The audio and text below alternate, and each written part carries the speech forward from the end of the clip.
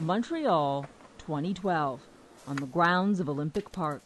The most common sport here now is not exactly a reflection of those oh so glorious games in 76. They were pretty magic. I mean, I mean, all Olympics are kind of magic. But I mean, we had Comaneci with their first 10, and, and we had the Spinks brothers, we had Sugar Ray Leonard. Canadian Dick Pound is a former Olympian and has been vice president of the International Olympic Committee.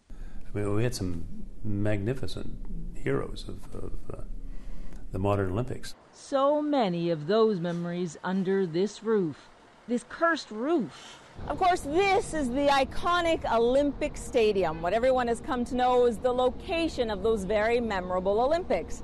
Now, here they nicknamed it the Big O, and some tax paying Montrealers have come to know it as the Big Owe.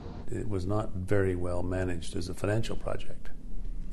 And uh, we have a, a, fabulous stadium, but it, I think it cost more than all of the covered stadia in North America put together. Put together. Put together. And it still doesn't open or close the way it should and can be a hazard. The roof and the games nearly bankrupt the city. It took us 30 years to pay it off, and as a taxpayer, not too happy about that. And yet, for many here, there is more to the Olympic legacy. Do you think the Olympic Games were worth it?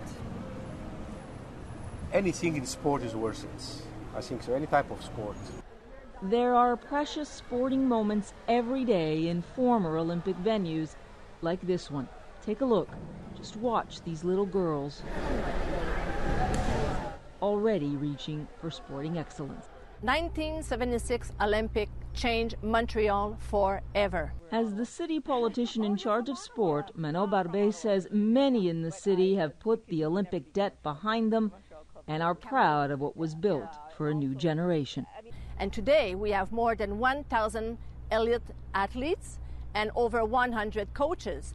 And if it is that high, it's not a coincidence. It is because uh, we decided to keep most of our Olympic uh, facilities. Places like Claude Robillard Center, built for the Olympics, now swimmers, promising gymnasts, track athletes, all still under one roof, nurturing Olympic dreams. My mom got me a gold chain, which had the Montreal Olympic symbol. That really pushed me uh, to, to be Olympian. Because Former Olympian Hank Palmer was born in the decade after the Games.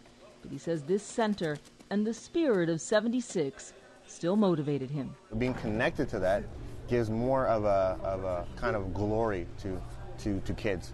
It's like a twinkle in your eye when you say, oh, Olympics. Oh, yeah. Wow, Olympics.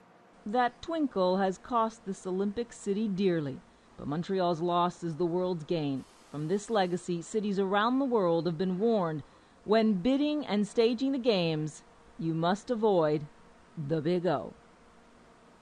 Paula Newton, CNN, Montreal.